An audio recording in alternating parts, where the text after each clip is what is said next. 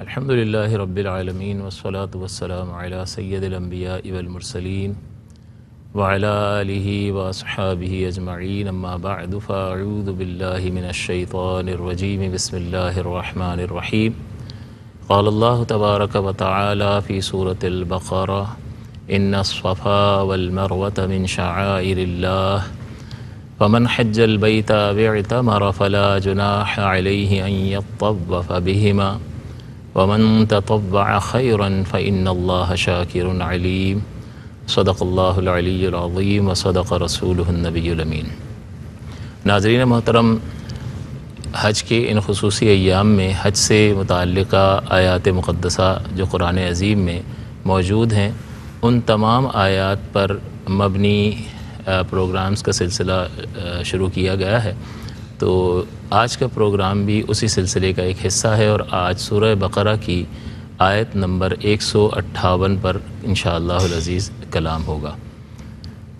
इस सूरह मुबारक में अल्लाह तबारक ताली ने इरशाद फरमाया, पहले हम इसके तर्जमे को देख लेते हैं और फिर इन अज़ीज़ इसके तफसीरी फ़वाद पर कुछ नज़र की जाएगी। अल्लाह ताला ने इरशाद फरमाया इन सफ़ा वलमर वतमिन शाइरिल्ला कि बेशक सफ़ा और मरवा अल्लाह ताला की निशानियों में से हैं। वमन हज्जल बैत आव तमारा तो जो हज बैतुल्ला का हज करे या उम्र करे, फ़ला जुनाह अलैहि बिहिमा तो उस पर कोई गुनाह नहीं है कि वो इन दोनों का तवाफ़ करे, यानी सफ़ा और मरवा का। वमन ततवा खैरन, और जो भली बात अपनी तरफ़ से करे, यानी नेकी में इजाफ़ा करे, आगे बढ़ने की कोशिश करे, यानी इससे नफिल मुराद है। फ़िन अल्लाह शाकिर अलीम। तो अल्लाह ताला शाकिर है, कदरदान है, इल्म वाला है। यहाँ इस आयत मुक़दसा से पहले जो है, इस इस आयत मुक़दसा में जो मजमून बयान हुआ है, वो दो पहाड़ों का तस्करा है और इसके गिरद तवाफ़ का तस्करा है। चुनाच अल्लाह ताला ने इन दो पहाड़ों को अपनी निशानियाँ करार दिया। और मज़ीद ये बयान फरमाया कि इसका तवाफ़ करने में कोई हर्ज और कोई गुनाह नहीं है। दूसरी बात जो ज़िक्र की गई कि ये आ, जो हज या उम्र पर जाए तो उसके लिए इसमें कोई गुनाह नहीं है कि वो सफ़ा और मरवा का तवाफ़ करे यानी उसकी साई करे। और तीसरी बात इसमें इरशाद फरमाई कि कोई अपनी तरफ़ से नेकी में ज़्यादती और इजाफ़ा करे तो अल्लाह तबारक व ताली कदरदान है, लोगों के आमाल की कदर फरमाने वाला है, यानी ये शाकिर का माना, और वो अलीम है, इल्म वाला है, वो हर एक के अमल से आगा है और वाकिफ़ है। तो इसमें चार बातों का ज़िक्र किया गया। यहाँ इन आयात मुक़दसा के नज़ूल से पहले जो मजामी बयान हुए हैं, उसमें अल्लाह तबारक व ताली ने तहवील क़िबला का ज़िक्र फरमाया, क़िबले की तब्दीली का, और फिर क़िबले को नमाज़ में रुख के तौर पर मुकर करने का ज़िक्र फरमाया। फिर मुखालफन की तरफ़ से इस इस पर एतराज़ा किए गए कि इन्होंने अपना क़िबला ही बदल लिया। तो जब ये एतराज़ा किए गए तो अल्लाह ताला की तरफ़ से इसके जवाब भी दिए गए।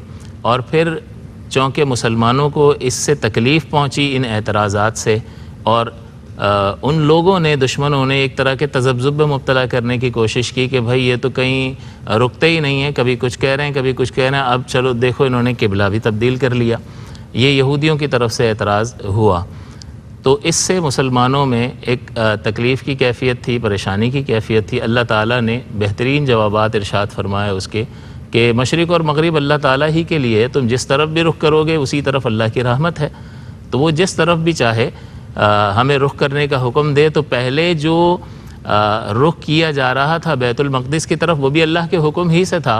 और अब अल्लाह ताला ने खाना काबा को नमाज़ के लिए क़िबला मुकर कर दिया तो पहला हुक्म भी अल्लाह की तरफ़ से था, और ये भी अल्लाह ही की तरफ़ से है, और अल्लाह के लिए हर सिमत है, वो जिस तरफ़ चाहे मुकर फरमा दे। इन जवाबात के बाद, चूँकि इससे मुसलमानों को तकलीफ़ हुई तो अल्लाह ताला ने आगे सब्र का भी ज़िक्र फरमाया, और फरमाया इन अल्लाह मासाबरीन और अब इन आयात मुक़दसा में इसके पस मंज़र में सब्र का एक वाक़ पोशीदा है तो उस अब वाक़े को ज़िक्र किया जा रहा है कि ये सफ़ा मरवा जो है वो दो पहाड़ियों के नाम हैं।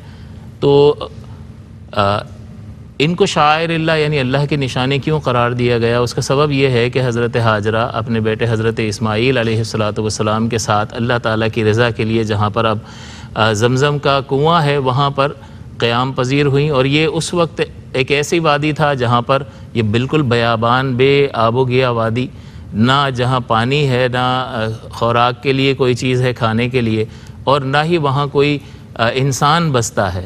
तो हर तरह से जो है वो बयाबान और बे आबोगी आबादी उसमें अल्लाह ताला ने कहा, यहाँ ठहर जाओ।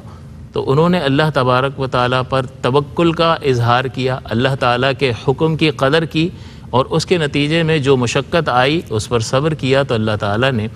उसके नतीजे में इन मासावरीन का जलवा दिखाया और एक छोटे से बच्चे के, की एड़ियों के रगड़ने से एक ऐसा चश्मा जारी कर दिया जो आज तक उससे लोग फैज़ियाब हो रहे हैं। तो इस वाक़े में एक सब्र की कैफियत का ज़िक्र है कि अल्लाह ताला की रज़ा के हसूल के लिए जो मुशक्क़त उन्होंने उठाई और इस मुशक्क़त में जब हज़रत इसमाईल अभी बहुत कम सिनी के आलम थे, में थे शीर ख्वार बच्चे थे तो ज़ाहिर है कि प्यास की शिद्दत की वजह से उन्हें तकलीफ़ हुई और माँ जो है हज़रत हाजरा परेशान हुई और उन्होंने इस पहाड़ी के गिरद चक्कर लगाए, पानी की तलाश में कभी वो इस तरफ़ जाती, कभी इस तरफ़ जाती। और बच्चे को उन्होंने नीचे रखा हुआ था और जब वो बुलंदी पर पहुँच जाती तो ये खौफ होता कि कहीं कोई दरिंदा नुकसान ना पहुँचाए तो वो तेज़ी से नीचे आती, जहाँ पर आजकल वो ग्रीन लाइट्स लगी हुई हैं और हम वहाँ दौड़ते हैं तो ये हज़रत हाजरा रदी अल्लाह तहा की सुन्नत है। तो अल्लाह ताला ने इन बुज़ुर्गों के सब्र की वजह से, उनकी इतात की वजह से, उनकी फरमाबरदारी की वजह से इन दो पहाड़ियों को अल्लाह ताला ने शायर यानी अपनी निशानी करार दिया। हालाँकि इस दुनिया में एक से एक पहाड़ है और उसमें बड़े बड़ी मादनियात और बड़े ख़जाने पोशीदा हैं। अल्लाह ताला ने उनको शायर नहीं फरमाया, बल्कि इन दो पहाड़ों को कि जो एक बयाबान में मौजूद है बेआब गया, वादी में, इन दो पहाड़ों को अल्लाह ताला ने अपनी निशानी करार दिया और ये सबब ये, इसी, ये एज़ाज़ इसी वजह से हासिल हुआ कि अल्लाह ताला की रज़ा के हसूल के लिए, उसके अहकाम को पूरा करने के लिए जब अखलास के साथ कोई कोशिश करता है तो अल्लाह ताला उसको, उसकी कदर फरमाता है। और उसकी बरकत से जहाँ वो मौजूद होता है, उन मकामात को भी बाबरकत बना देता है। और फिर अल्लाह ताला ने इस सुन्नत मुबारक को क़यामत तक के लिए जारी व सारी फरमा दिया। और अब भी जब मुसलमान हज और उम्र के लिए जाते हैं तो इन दो पहाड़ों का तवाफ़ करते हैं। जब मुफसरीन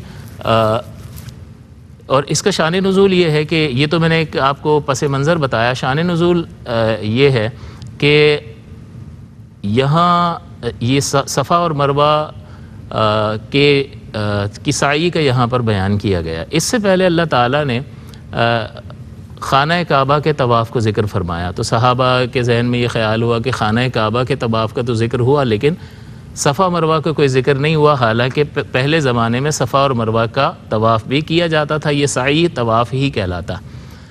तो अब एक तो ये वजह बनी, उसके जवाब में ये आयत नाजिल हुई कि खाना काबा के तवाफ़ का तो ज़िक्र हुआ, सफ़ा मरवा का ज़िक्र नहीं हुआ।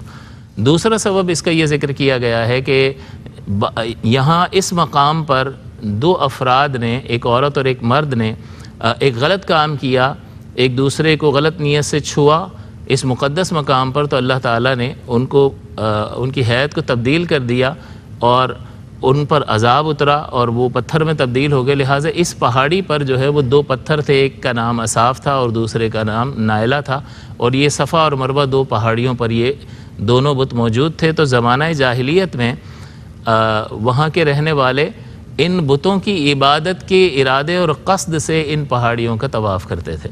तो साहबा कराम ने, उन्होंने इसको नापसंद किया कि भाई यहाँ तो बुतों की इबादत की गर्ज से तवाफ़ किया जाता था तो अल्लाह ताला ने यह आयत उतार दी और बात वाज फरमा दी। और एक इसका सबब यह भी ज़िक्र किया गया है कि बाज़ अफराद जो साहबा कराम ज़माना जाहिलियत में भी यहाँ के तवाफ़ को बुरा समझते थे इन बुतों के होने की वजह से वो जब इस्लाम ले आए तो इस्लाम लाने के बाद भी उन्होंने इसको नापसंद किया कि हम पहले भी इसको नापसंद करते थे क्योंकि यहाँ शिरक हो रहा था।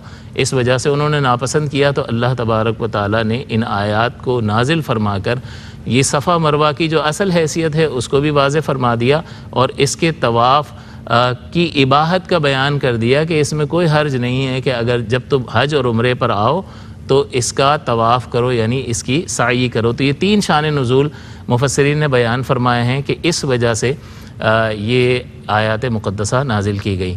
चुनाच अल्लाह ताला ने फरमाया इन सफ़ा वलमरवता मिन शाह अब उनके जवाब में आ रहा है, ये आयत मुक़दसा नाजिल हो रही है कि जो ये नापसंद करते थे कि यार यहाँ तो बुतों की पूजा होती थी, लिहाजा उस वजह से उसको नापसंद कर रहे थे। तो अल्लाह ताला ने फरमाया, इसको नापसंद करने का कोई रीज़न नहीं है। अगर कहीं कोई मुक़दस मकाम पर कोई गलत चीज़ शुरू हो गई है तो इसका मतलब ये नहीं है कि उसकी तकदीस ही ख़त्म हो जाएगी। तो अल्लाह ने इस बात को वाज फरमा दिया कि इब्तदा से ही इसका तवाफ़ किया जा रहा है अल्लाह के हुक्म से। इसलिए कि अल्लाह ताला ने इसे अपनी निशानी करार दिया इन सफ़ा वलमर वतम इन शाह तो जैसे ही अल्लाह ताला ने इसका अपनी निशानी होना बयान किया तो साहब कराम के जहन में जो तशवीश थी, जो इश्काल था, जो परेशानी थी वो सब ख़त्म हो गया और इससे एक बात ये भी मालूम हुई कि अगर कोई चीज़ असलन जायज़ हो और उसमें कोई ख़राबी खारिज से पैदा कर दी जाए तो उस ख़राबी को दूर किया जाता है, ना कि उस असल शय ही को मना कर दिया जाए। जैसे अगर कोई शख्स नमाज़ पढ़ रहा है तो नमाज़ जायज़ चीज़ है या नहीं है? एक अच्छी चीज़ है, अल्लाह ताला ने उसका हुक्म दिया है। लेकिन अगर इसमें ख़राबी कोई मिला दे, रियाकारी की नीयत से नमाज़ पढ़े तो तो आप नमाज़ ही को रोक दे, दोगे या कहोगे कि भाई रियाकारी बना है? रियाकारी को हटाओ और रियाकारी से हटाकर, अलहदा होकर खालिस अल्लाह के लिए नमाज़ अदा करो। तो इसका मतलब असल शय जो है, उसका हुक्म किसी खारजी ख़राबी की वजह से तब्दील नहीं होता, बल्कि अगर ममानात वारिद भी होगी तो उसी ख़राबी की तरफ़ ही उसकी तवज्जो होगी। इसी तरह से अगर किसी शख्स ने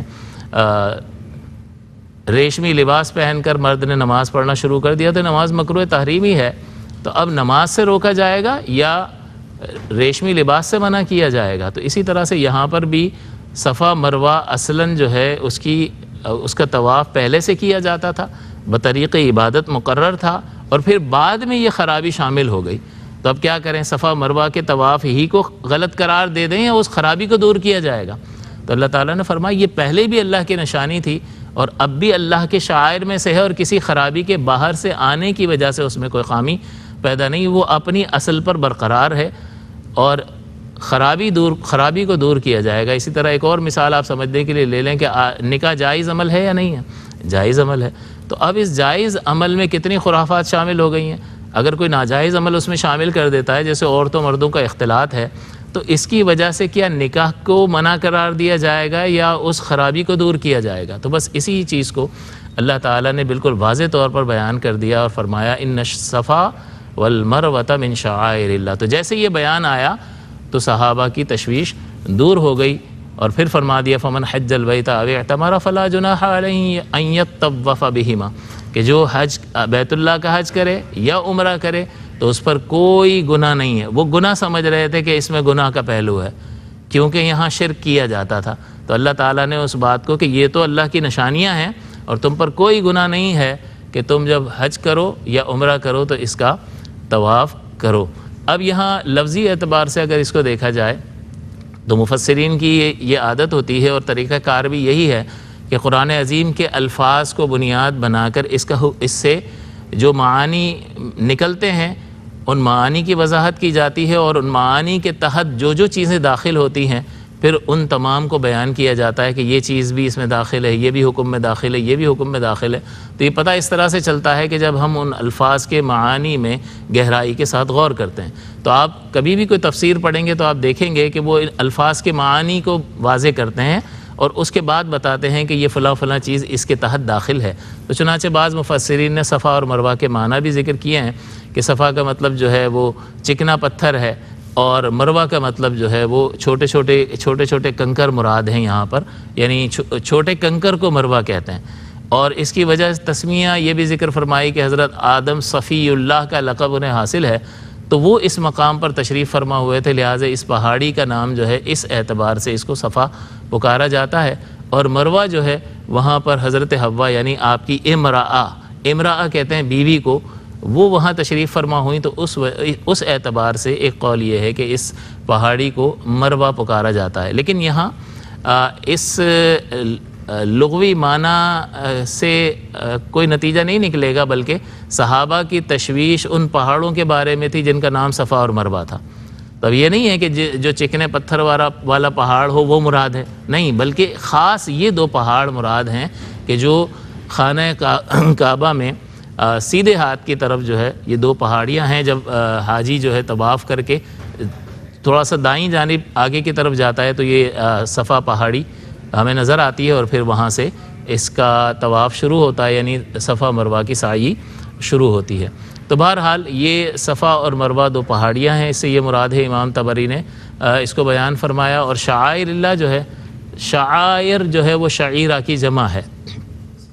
और शायरा कहते हैं अलामत को। तो यहाँ पर फरमाया कि पहाड़ियाँ, ये सफ़ा और मरवा ये दो पहाड़ियाँ हैं, ये अल्लाह की निशानी है। तो भाई अल्लाह की निशानी है तो इसका मतलब क्या है? इससे अल्लाह ताला की मुराद क्या है? तो यहाँ अल्लाह की निशानी होने से मुराद ये है कि शायर वो चीज़ें होती हैं कि जो दीन की अलामत के तौर पर मुकर हों। दीन की खसूसियत हो, उसको शायर कहा जाता है, या वो आमाल कि जो अल्लाह ताला ने इबादत के तौर पर मुकर कर दिए हों और उनको दीन की अलामत बना दिया हो तो ऐसे आमाल भी शायर कहता, कहलाते हैं, अल्लाह ताला की निशानियाँ कहलाते हैं। और यहाँ पर अल्लाह ताला ने शायर का लफ्ज़ फरमाया और फरमाया, मिन शायर कि ये दो पहाड़ियाँ जो हैं, वो अल्लाह की निशानियों में से हैं।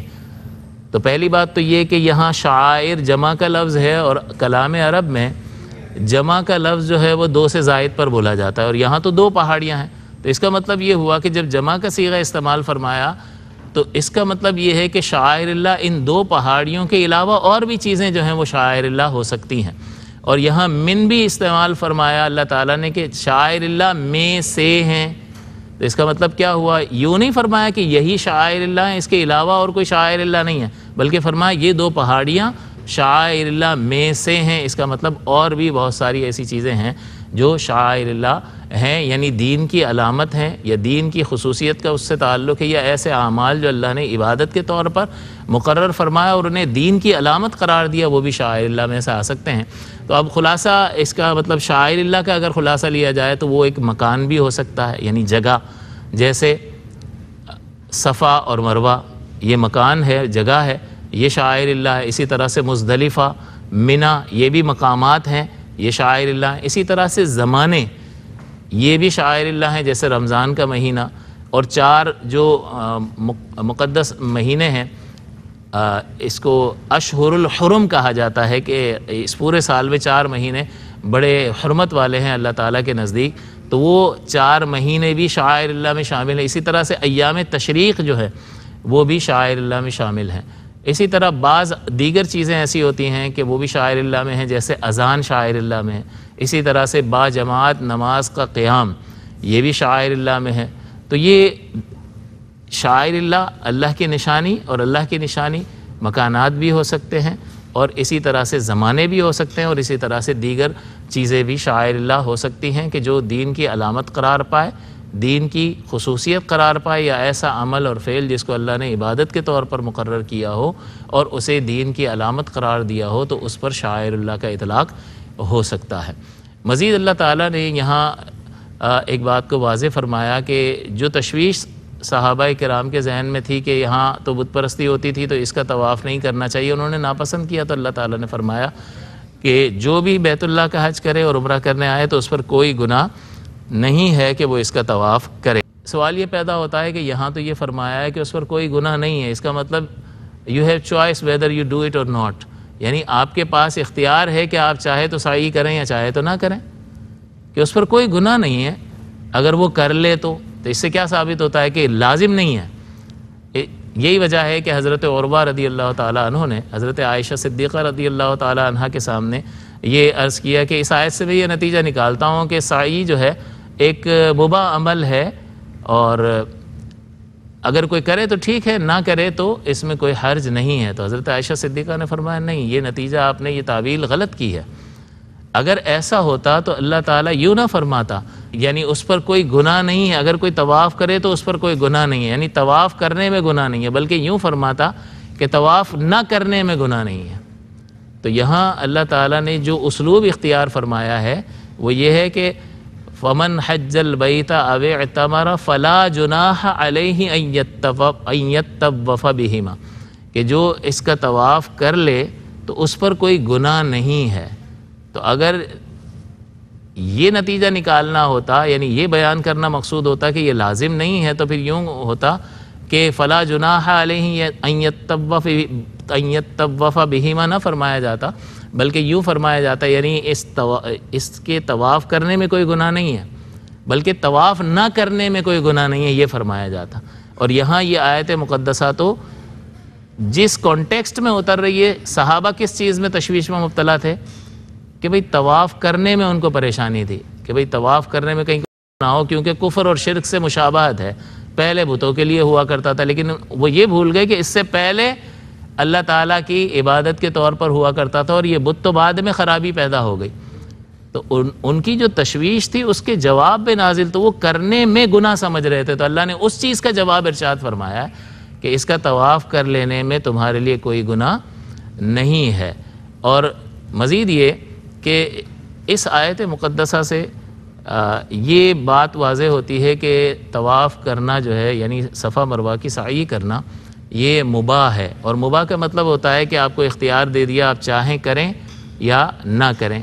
लेकिन फ़िक हनाफ के नज़दीक और दीगर फ़ुका के नज़दीक भी बाज़ के नज़दीक सफ़ा मरवा की साई करना हज में ये वाजिब है।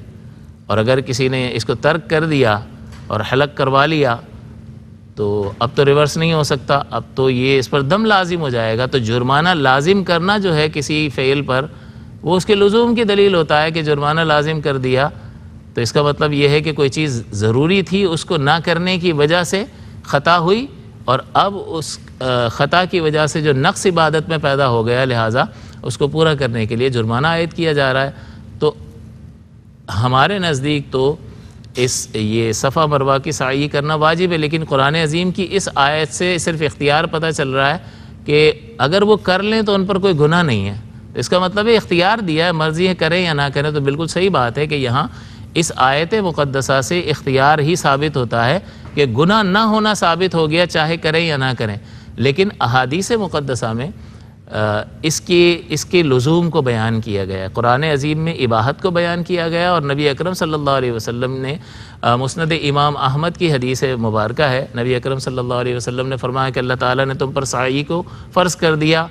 बस सही साई करो। तो हुजूर ने हुक्म फरमा दिया। जब हुक्म फरमा दिया तो इसका मतलब ये है कि इसकी, इस हदीस में मौजूद इस हुक्म की वजह से ये लाजिम हो गई।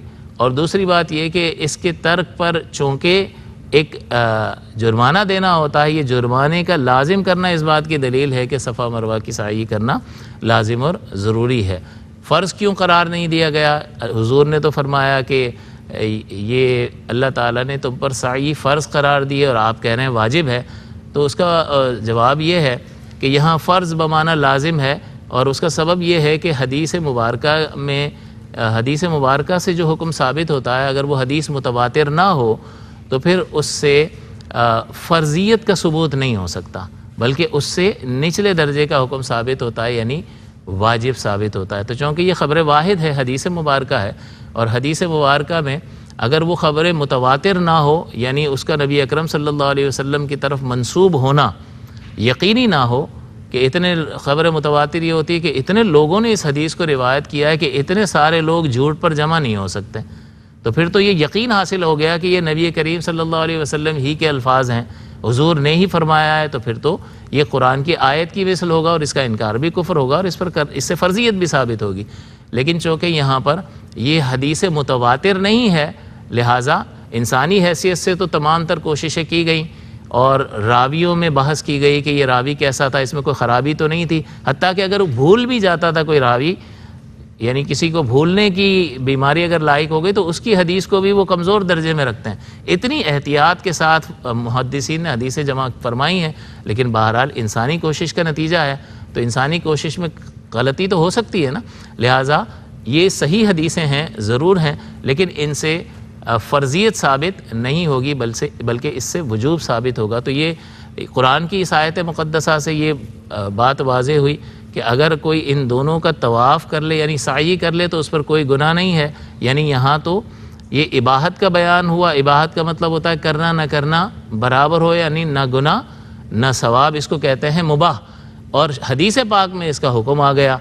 कि अल्लाह ताला ने तुम पर साई को लाजिम कर दिया, बस तुम साई करो और फिर जुर्माना जब दम लाजिम कर दिया। उसके तर्क की सूरत में तो ये बात वाज हो गई कि ये सफ़ा मरवा की साई करना लाजिम और ज़रूरी है, यानी वाजिब के दर्जे में है। मज़ीद ये कि इसमें हज बैतुल्ला का ज़िक्र हुआ और हज बैतुल्ला हज का मतलब होता है, अगर लगत में आप डिक्शनरी में इसका मतलब देखेंगे तो हज का मतलब होता है इरादा करना। अब हज्जुल बैत हज्जुल बैत का मतलब क्या होगा? बैतुल्ला का इरादा करना। तो ये डिक्शनरी वाला माना है। और उम्र का मतलब होता है ज़्यारत करना, मुलाकात करना। ये इसका लगवी माना है। लेकिन इसका शरई माना क्या है? शरीयत ने इसका जो माना मुकर किया है, वो ये है कि मखसूस अयाम में, यानी ये जो हज के मखसूस महीने हैं, इसमें अहराम बाँध कर वकूफ़ अरफ़ा और, सल्लल्लाहु अलैहि वसल्लम, वकूफ़ अरफ़ा और तवाफ़ ज़्यारा करना, ये हज है। तो मखसूस दिन है और अहराम उसके लिए शर्त है और इसके दो अरकान हैं, यानी फ़र्ज़ वकूफ़ अरफ़ा, अरफात के मैदान में ठहरना और तवाफ़ ज़्यारा। बाकी वाजिबात हैं और इसकी सुन्नतें हैं। तो हज का एक लगवी माना है और दूसरा शरई माना है कि शरई माना यह है कि इस कस्द और इरादे से वो बैतुल्ला आए कि वो अहराम की नीयत करते हुए मैदान अरफात में ठहरेगा और तवाफ़ ज़्यारा करेगा दीगर वाजिबात को पूरा करते हुए। तो इस पूरी इबादत को हज करार दिया शरीयत मतहरा ने। और उम्र जो है वो ज़्यारत का नाम है, लेकिन यहाँ शरीयत मतहरा ने इसका जो माना मुतन किया कि खाना काबा की ज़ियारत के लिए आना। तो इसमें भी अहराम शर्त होता है और तवाफ़ के अक्सर फेरे जो हैं, यानी तीन से जायद चार फेरे जो हैं अक्सर हो गया, ये फ़र्ज़ होते हैं और साई इसमें भी वाजिब होती है। तो इसमें ये तीन ही चीज़ें होती हैं कि अहराम है, आपने तवाफ़ किया और फिर आपने साई कर ली तो ये आपका, और उसके बाद हलक या कसर करवा कर इंसान जो है वो उसका उम्र मुकम्मल हो जाता है और वो एहराम की पाबंदियों से बाहर आ जाता है। जबकि हज में ये है कि वो मैदान अरफात में भी जाएगा, वहाँ वकूफ़ करेगा, मुजदलिफ़ा जाएगा, फिर रमी जमार है, फिर क़ुरबानी है, वो प्रोसेस एक लंबा है और ये इन्हीं चीज़ों की बिना पर उम्र और हज में फ़र्क है। और मज़ीद एक ये भी फ़र्क है कि हज साल में एक बार मखसूस दिनों में किया जाता है और उम्र पूरे साल जो है वो किया जा सकता है। मज़ीद ये कि अल्लाह ताला ने आप गौर करें तो अल्लाह ताला ने यहाँ पर सफ़ा और मरवा के तवाफ़ के बारे में कला, कलाम फरमाया हमें हुक्म गोया के इरशाद फरमाया हदीस को अगर इसके साथ मिलाएँ तो। और खाना काबा के तवाफ़ का हुक्म इससे पहली आयात में गुज़र चुका। तो अब गौर कीजिए कि सफ़ा मरवा की साई करना और खाना काबा का तवाफ़ करना यानी इन दोनों मकाम का तवाफ़ करना जो है ये इबादत है। और नमाज़ भी इबादत है। और अगर आप इन दोनों तरह की इबादत में गौर करें, दीगर है, ज़क़़त भी इबादत है, इसी तरह से रोज़ा भी इबादत है तो आप इन इबादत में गौर करें तो आपको ये मालूम होगा कि नमाज़ जो है वो अमर माकूल है। एक ऐसा हुक्म अल्लाह ने इरशाद फरमाया है जो समझ में आता है, जो हमारी अक़ल में आता है कि इस तरह से अदब से खड़े रहते हैं। जी, अल्लाह ताला की बारगाह में अदब के साथ ही हाजिर होना चाहिए तो बॉडी लैंग्वेज पूरी जो है नमाज़ की वो अदब पर मुश्तमिल है, समझ में आती है, माकूल बात है। और उसमें हम कुरान पढ़ते हैं और अल्लाह ताला को याद करते हैं, ज़िक्रुल्लाह करते हैं, उसकी तस्वीर करते हैं। तो इसमें जो किया जाता है और जो हालत इख्तियार की जाती है, वो पूरी इबादत जो है, कौल और फ़ेल का मजमु है, ये पूरी इबादत हमें समझ में आती है, माकूल लगती है। इसी तरह रोज़ा भी है, इसी तरह से ज़क़़त भी है। लेकिन जब हम हज को देखते हैं और हज के अरकान को देखते हैं ख़ास कर ये तवाफ़ है फिर एक मैदान में ठहरना है, फिर आप शैतान को कंकरियाँ मारते हैं रमी जमार करते हैं। तो ये सारे जो हज के अफ़ाल और आमाल हैं, आप अगर इसमें गौर करें तो ये समझ में नहीं आते हैं कि एक घर है जिसके गिर्द गोल गोल चक्कर लगाना जो है वो तवाफ़ है। बंदा कहता है, एक ही जगह से शुरू हो रहा हूँ, यहीं पर आकर ख़त्म हो रहा हूँ। ये क्या इबादत है? इसी तरह से सफ़ा मरवा का तवाफ़ करना जो है, हज़रत हाजरा पानी की तलाश में दौड़ी थी, लेकिन अभी हमें तो पानी की तलाश नहीं है, जस्तजू नहीं है। हम क्यों दौड़ रहे हैं? समझ में नहीं आता, जहाँ से जा रहे हैं, वहीं पर, और थकन भी बहुत ज़्यादा महसूस होती है, लंबा एक चक्कर है, और सात चक्कर लगाने हैं। तो ये इबादत, और इसी तरह से जब आप रमी जमार करते हो, कंकरियाँ मारते हो तो इतना बड़ा मज़बूत पिलर है उस, उसको आपकी इतनी कंकरी से क्या होता है? तो कोई ये एतराज़ कर सकता है कि भाई ये जो तुम काम कर रहे हो, ये बिल्कुल गैर माकूल काम है। तो हम उसको यही कहेंगे कि बिल्कुल, ये अक़ल में आने वाली चीज़ नहीं है, लेकिन अल्लाह ताला के अहकाम को देखा जाए तो अल्लाह के अहकाम दो तरह के हैं। एक अमर ऐसा फरमाया जो अक़ल में आता है और एक ऐसा अमर फरमाया जो अक़ल में नहीं आता है। तो जो अक़ल में नहीं आता, अल्लाह ताला ने बंदे को आज़माने के लिए इस तरह के अहकाम भी इरशाद फरमाए, इसको अमर ताबुदी कहते हैं कि अब बंदे का ये इम्तहान है कि अपनी अक़ल इस्तेमाल करता है या अल्लाह ताला के हुक्म के आगे सर झुका देता है। तो ये इसमें ये एक हमत पोशीदा है कि ये जो अमाल और अफ़ाल अल्लाह ताला ने मुकर फरमाए हैं, इसमें बंदे की आजमाइश भी है। और मज़ीद ये कि अल्लाह ताला ने फरमाया कि जो भलाई का इरादा करे, यानी इससे ततव से जो, यहाँ ततव का लफ्ज़ इस्तेमाल हुआ और उससे मुराद होता है नफली इबादत। तो फ़र्ज़ के अलावा जो भी नफली इबादत करे तो अल्लाह ताला उसको उसकी कदर फरमाता है और उसका बदला अता फरमाता है। तो यहाँ पर ततव की तफसीर करते हुए फरमाया कि चूँकि यहाँ हज और उम्र का ज़िक्र हो रहा है तो हज और हज तो फ़र्ज़ है ज़िंदगी में एक बार, जिसमें ये शराइ पाई जाए जो हज की शराइ हैं तो वो तो फ़र्ज़ है, लेकिन उम्र सुन्नत है तो ये करने के बाद जब दोबारा करेंगे हज तो वो नफली हज होगा। तो फरमाया कि जो नफिल इबादत करता है तो अल्लाह ताला उसको मज़ीद अजर अता फ़रमाता है। तो यहाँ गोया कि नफिल का बयान हुआ नफिल का वैसे भी माना होता है इजाफ़ी चीज़। तो मुफसरीन ने फरमाया चूँकि हज और उम्र का ज़िक्र है तो ये यही मुराद है कि हज के बाद मज़ीद हज करना आ, जो है वो पसंदीदा और अच्छी बात है। लेकिन बाज़ मुफसरीन ने कहा कि तत्वों से मुराद हर नफली इबादत है कि जो भी अपनी तरफ़ से मज़ीद अल्लाह ताली की लाजिम करदा के अलावा इबादत करता है तो अल्लाह ताला उसको इसका अजर अता फरमाता है। फिर फरमाए इन शाकिर अलीम कि अल्लाह ताला शाकिर है। अब जब शुक्र की नस्बत अल्लाह की तरफ़ की जाए और शुक्र की तरफ़, की नस्बत बंदे की तरफ़ की जाए तो इसमें फ़र्क होता है कि बंदा शाकिर है तो वो अल्लाह की नेमत पर शुक्र अदा कर रहा है। और अल्लाह का शाकिर होने का मतलब ये कि अल्लाह ताला अपने बंदों के अमाल की कदर फरमाता है। और अलीम की सिफत यहाँ जो ज़िक्र फरमाई, इसका मतलब ये है कि परेशान होने की ज़रूरत नहीं है कि जो अल्लाह के अहकाम के सिलसिले में जो तुम मुशक्क़तें उठा रहे हो, अल्लाह ताला एक एक अमल को जानता है उन आमाल को भी जानता है और दूसरी बात ये कि अल्लाह ताला तुम्हारी नीयतों को भी जानता है। तो उस अमल को भी जानता है जो तुमने किया कम है या ज़्यादा और तुम्हारी नीयतों से भी वाकिफ़ है। लिहाजा जिस नीयत से जिसने जो अमल किया है अल्लाह ताला उसको उसका बदला ज़रूर अता फरमाएगा। बड़ा ताकीदी कलाम फरमाए इन अल्लाह शाकिर अलीम बिलाशुबा अल्लाह ताला कदरदान है और इल्म वाला है। तुम्हारा कोई अमल ज़ाया नहीं जाएगा। और वो बहुत ज़्यादा अता फरमाने वाला है और मज़ीद ये कि अल्लाह ताला को इस बात का इल्म है कि किसने क्या अमल किया और किस नीयत से और अखलास किस अखलास की बुनियाद पर उसने अमल किया। तो हमें ये गौर करना चाहिए कि ये जो आयत मुक़दसा है, बहुत सारे पैगाम अपने अंदर पोशीदा रखती है। एक तो ये कि बुज़ुर्गों की तज़ीम, बुज़ुर्गों का अदब, बुज़ुर्गों की तरफ़ कोई चीज़ मंसूब होती है तो अल्लाह ताला उसे शायर करार देता है और उसकी तज़ीम करने का हुक्म जो है, क़यामत तक अल्लाह ताला ने मुसलमानों को अता फ़रमाया। तो आप गौर कीजिए कि जिन बुज़ुर्गों के कदमों की बरकत से इन दो पहाड़ियों को ये एज़ाज़ हासिल हुआ और वो कबूलियत का मकाम करार पाए तो जिन बंदों की वजह से इन पहाड़ियों को ये एज़ाज़ हासिल हुआ, उन बंदों की अल्लाह ताला की बारगाह में किस कदर कदर मंजिलत होगी? ये ये चीज़ जो है महसूस करने की है कि जब कोई शख्स अल्लाह की रज़ा के हसूल की खातिर अखलास की बुनियाद पर अल्लाह ताला के लिए तकलीफ़ उठाता है तो अल्लाह ताला उसको हर मकाम पर सुरखरू फरमाता है।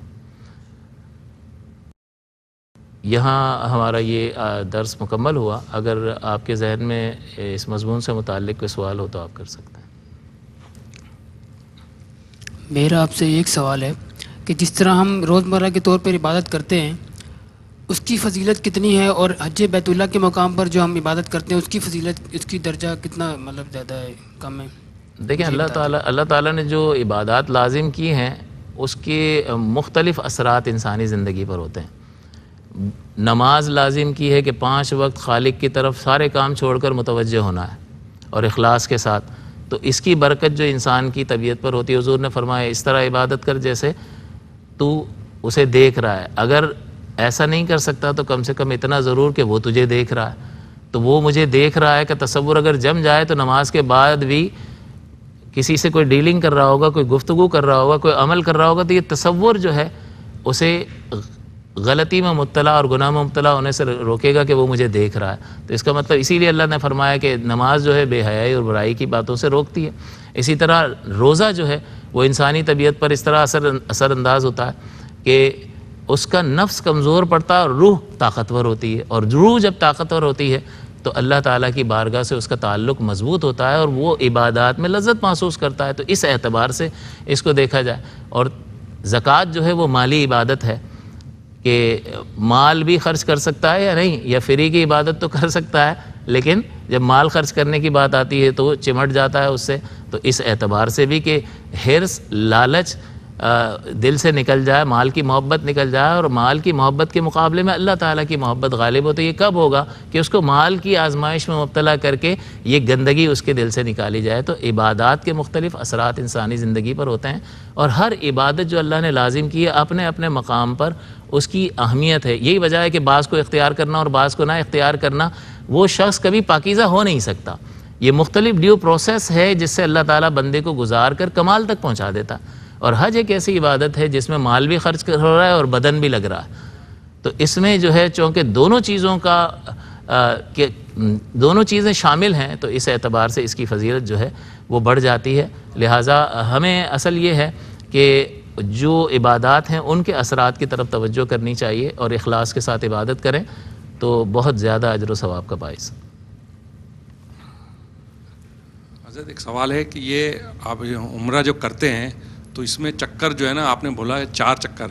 वैसे सात चक्कर का है ना इसमें, ये मुझे, हमें बता दें। और ये कंधा जो है ना, एक कहते हैं ये खुला होना चाहिए। ये चार हमेशा चार सातों चक्कर में होना चाहिए जी, ये तवाफ़ जो है तवाफ़ से मुतल पूछ रहे हैं, खाना काबा के तवाफ़ से मुतल तो जी, बिल्कुल जब आप उम्र करेंगे या हज में भी जब आप तवाफ़ करेंगे और हज में जब आप आपने अहराम की हालत में अगर आप तवाफ़ कर रहे हैं क्योंकि वैसे तो कुर्बानी करने के बाद हलक करवा कर इंसान एहराम की पाबंदी से निकल जाता है और फिर अपने रोज़मर्रा के लिबास में तवाफ़ करने आ रहा होता है। लेकिन इसमें तरतीब ज़रूरी नहीं है पहले भी किया जा सकता है। तो रमी के बाद अगर कुर्बानी में ताख़िर है तो इंसान तवाफ़ के लिए आ सकता है तो उस वक्त वो एहराम पहने हुए होगा।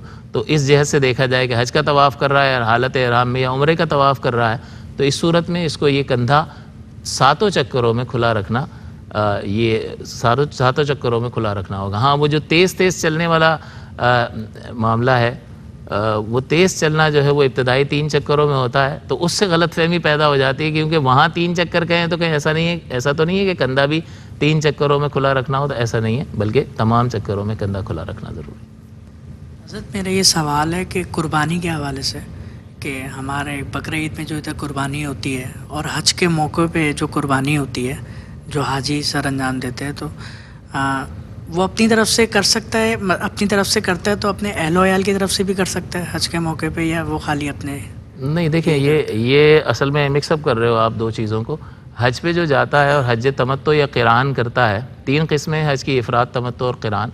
अफराद वाले पर कुर्बानी नहीं होती तमत्तो और किरान वाले पर कुर्बानी होती हज का शुक्राना होता है। तो जो हज कर रहा है उसी को ये कुर्बानी करनी है और वो अपनी ही तरफ़ से करेगा। हाँ ये सवाल बनता है कि जो हाजी हज करने के लिए आया, वो बकरा ईद वाली कुर्बानी करेगा या नहीं करेगा? तो उसमें ये देखा जाता है कि ये जहाँ पर, इस वक्त मौजूद है, यहाँ पर अगर पंद्रह दिन या उससे ज़्यादा ठहरने की इसकी नीयत है तो ये मुसाफिर नहीं है।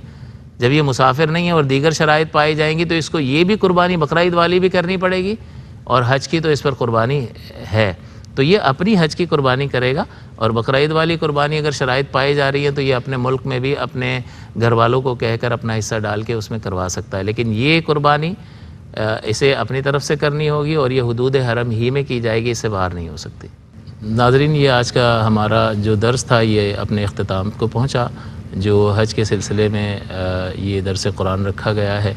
कि कुरानी आयात जो हज से मुतक हैं, उसका बयान था, उसमें आयत नंबर एक सौ अट्ठावन, सुरह बकरा की उस पर कलाम हुआ, सफ़ा सफ़ा मरवा की तफसील को ज़िक्र किया गया। अल्लाह ताली से कबूल फ़रमाए। व आखिर दावाया अनिलहमदिल्ला रबालमी